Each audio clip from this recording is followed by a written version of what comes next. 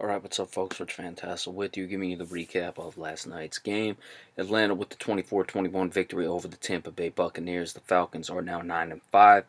The Tampa Bay Buccaneers dropped to 4 and 10. Been a real disappointing year for the Buccaneers. Matt Ryan 17 of 31, 212 yards, one touchdown, no interceptions. Devonta Freeman was the top rusher, 22 carries, 126, 5.7 per rush. Terron Ward, 8 of 45 yards per rush. Matt Ryan, 3 of 29, 9.7 yards per rush. I swear, it looked like Matt Ryan ran for about six first downs at one stretch there. The team, 35 of 201, 5.7 yards per rush. The touchdown by Freeman. And of course, you didn't have Coleman in the game. Devonta Freeman was the top receiver, 5 of 68. Julio Jones, 3 of 54. Justin Hardy, 2 of 33 with the touchdown. Devonta Freeman fumbled twice, did not lose any of them. Keanu Neal recovered a fumble. The team had two sacks. One was split between Adrian Clayborn and Grady Jarrett. Takkarist McKinley had the other. There were no interceptions. Andre Roberts, four kick returns, 108 yards, 27 yard average, longest of 31. That's pretty good. Andre Roberts, 2 of 17 in his punt returns. And Matt Bryant was 1 for 2 in his field goals. He made a 57 yarder, and one was blocked. Did he make that 57? He must have. Yeah, because he only attempted two and the other one was blocked, and that was not 57 yards. So, uh, obviously critical in a 24 21 game.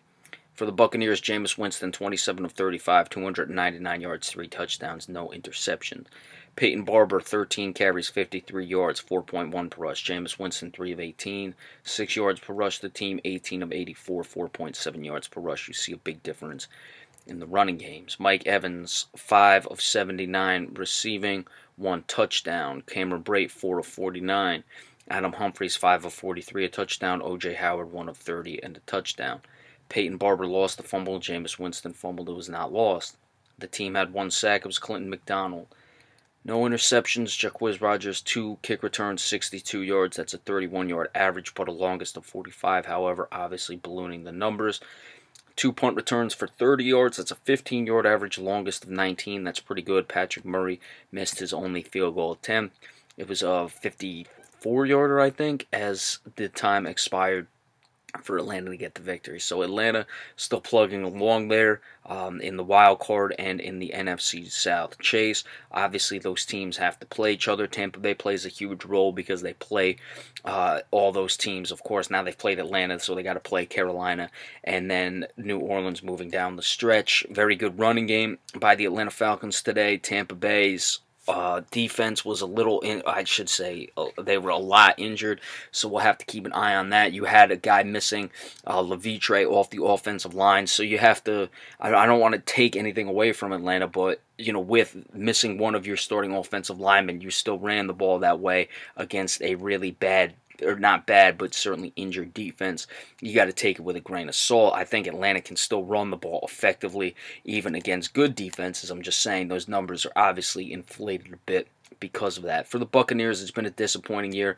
I don't know how much the fact that they didn't have or they had their bye week week one didn't have it late in the season. Uh, they were struggling even a little before that. I think that just really threw that team off somewhat. You had the Doug Martin situation as well, all of his issues. Now you've had injuries moving forward. So this was a team with high expectations. They still have a lot of talent on this team.